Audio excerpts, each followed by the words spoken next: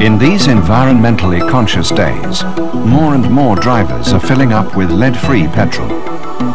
Increasingly, green is becoming the dominant colour on our garage forecourts. But while lead may be on its way out, other additives are on their way in. These changes in petrol blends raise fundamental questions about whether the fire service needs to modify its standard techniques for fighting fuel fires using frontline low expansion foam equipment.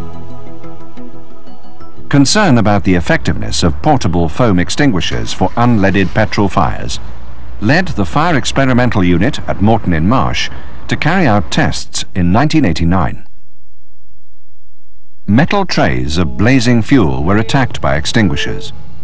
The results clearly showed that in small-scale fires at least, the foams used were just as effective at tackling unleaded petrol as traditional leaded mixtures. The FEU concluded that there was no need to alter fire extinguisher requirements for garages. However, when it came to larger scale incidents, it was clear that further research was necessary. It was feared that in a major fire, the stability of the foam blanket could be reduced where fuel contained high levels of oxygenates. Both leaded and unleaded fuel can contain oxygenates, but it's more likely that unleaded fuel contains these additives as they're used to replace the octane benefits of lead. With the assistance of the petroleum industry, further tests were set up. There have, of course, been a lot of trials in the past uh, on oxygenate type materials. Um, and this is not specific, I should stress, to unleaded fuels because these oxygenate materials could legally be added to leaded as well as unleaded fuels. What we are really concerned with uh, is the scale of those trials. Uh, earlier, uh, small-scale trials were carried out which were largely reassuring as far as the behaviour of the foam was concerned, uh, given the limited amounts of oxygenates that are currently allowed in the UK. Uh, however, there was uh, sufficient uh, anomalies crept in to those trials to make us believe that larger scale trials would be beneficial. And we have uh, collaborated with the Fire Experimental Unit to design a set of uh, uh, trials which would give us the information on the uh, three specific formulations of fuel uh, that we decided would be appropriate to trial for the UK. The choice of fuel was made in the light of petroleum industry advice on trends in UK blends. With official British standards, petrol specifications permit a wide range of additives to be used, up to prescribed limits. It was decided to use three types of fuel that could potentially be sold at UK pumps. First, unleaded petrol with no oxygenates. Secondly, unleaded petrol of a moderate oxygenate level containing 3% methanol and 2% tertiary butyl alcohol. Thirdly, unleaded fuel with 15% methyl tertiary butyl ether, MTBE. MTBE was included because it's widely used on the continent and is increasingly appearing in UK blends. The three main foams used were first fluoroprotein, secondly aqueous film-forming foam known as AFFF, thirdly film-forming fluoroprotein foam known as FFP.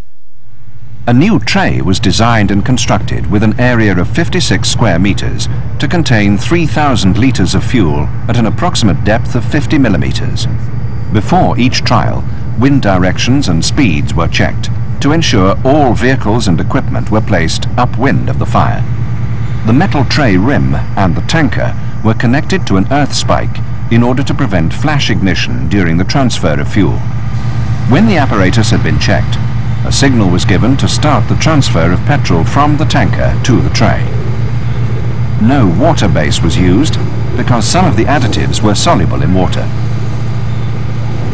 Finally, when everyone was clear, the earth straps were disconnected and the petrol ignited by means of an electrically fired cartridge. Exactly one minute after ignition, the foam stream was applied to the fire from the upwind side of the tray. Two different foam branch pipes were used to tackle the fires. The Angus 225H and the Chubb FB5X Mark II. These were chosen because both are widely used on first-line fire appliances. The branchman, an experienced fire officer, applied aspirated foam to the tray surface, working in such a way as to cause minimum disturbance to the fuel. Until control was achieved, he held the branch steady, and after control, he used his discretion in the tactics necessary to achieve extinction. Successful use of foam depends on its rate of application, and this means that the role of the pump operator is vital. His task is to ensure that the water and additive are mixed in the correct proportions and that the total liquid flow to the branch pipe is also correct. Throughout the tests, four observers noted the progress of the firefighting and the time it took to achieve 90% and 100% extinction. Air and foam temperatures were recorded using digital thermometers, while radiometers were used to measure heat radiation. After 100% extinction, foam continued to be applied to the fuel for a further 30 seconds. After each trial, samples of foam were collected and tested in order to keep a check on the quality of the different concentrates. Five minutes after the fire was extinguished, a burn-back test was carried out to assess the resistance of the foam blanket to flame. A propane torch was applied to the surface until the fire was well developed. When one square metre was alight, the torch was removed, and observers recorded the progress of the burnback. Preliminary tests had been carried out to check on the choice of branch pipe and the application rates that should be used for the different foams.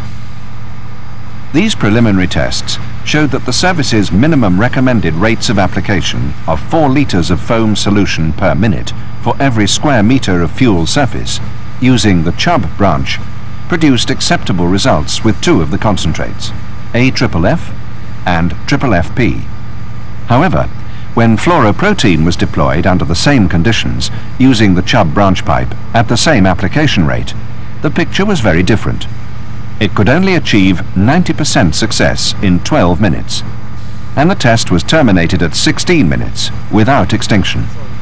During the preliminary tests, fluoroprotein showed that it only achieved acceptable results when used with the Angus branch pipe at an increased rate of 5 litres per minute per square metre, which is the minimum recommended rate for fluoroprotein foam.